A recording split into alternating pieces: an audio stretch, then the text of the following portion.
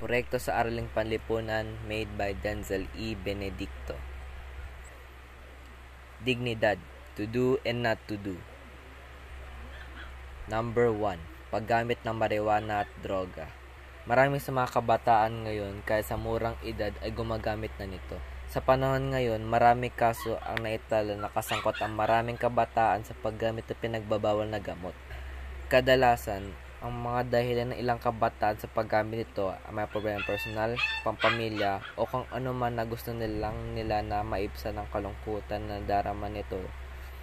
Ito ay bawal dahil sa masamang epekto. Maibsan natin ang patuloy ng paggamit ng droga gamit ang iba't ibang uri ng therapy o ang paghingi ng tulong mental sa mga magulang. Number 2, maagang pagbubuntis. Ito rin sa isang problema ng mga kabataan ngayon, lalo na sa mga kababaihang maagang po sa isang relasyon. Humahantong ang ganitong sitwasyon na malaki ang magiging epekto nito sa kanilang kinabukasan at maaaring makasama din sa kalusugan dahil sa maagang pagbubuntis maaari maiwasan ang maagang pagbubuntis sa paraan ng pagpopokus sa pag-aaral at pag-iwas sa pagtatanan sa loob man o labas ng eskwelahan. Number T.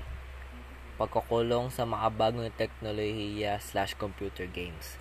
Sa makabagong teknolohiya, ito ay mag- may magandang epekto, ngunit ito rin may masamang epekto lalo sa sobrang paggamit ng mga ito. Sa sobrang paggamit gaya ng mga laro, online games sa talamak sa mga kabataan, ang paggamit nito ay may masamang epekto rin lalo na sa kalusugan at kalimitang may epekto na sa kanilang edukasyon na ilan sa mga pinipili maglaro ng buong araw kaysa sa pumasok sa paralan.